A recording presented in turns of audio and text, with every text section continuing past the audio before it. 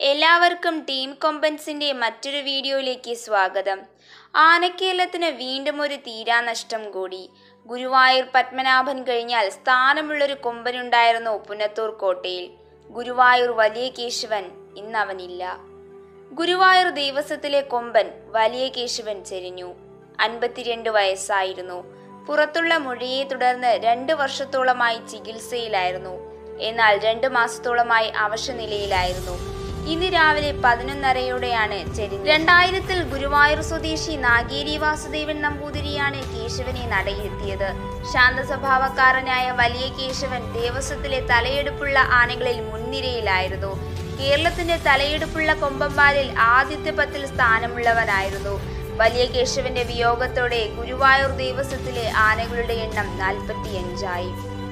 മറക്കില്ല കേശവ ഒരിക്കലും. നീ പാതി വെച്ചുപോയ നിന്റെ ഈ ചരിത്രം എന്നും ആനക്കേരളം ഓർമ്മിക്കും. ഗുരുവായൂർ വലിയ കേശവന് പ്രണാമം.